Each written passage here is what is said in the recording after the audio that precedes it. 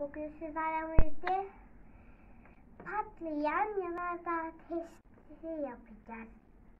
Şimdi ilk önce karbonatımızı koyuyoruz. Şimdi arkadaşlar karbonatımızı koyduk. Şimdi gıda boyası. Birazcık koyalım. Çok doğru. Bir tane kesiyi alalım.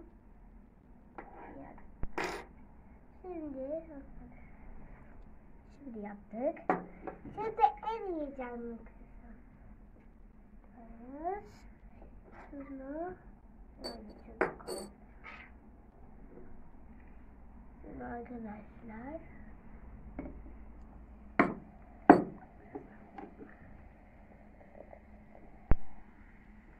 Arkadaşlar merhaba. Siz arkadaşlar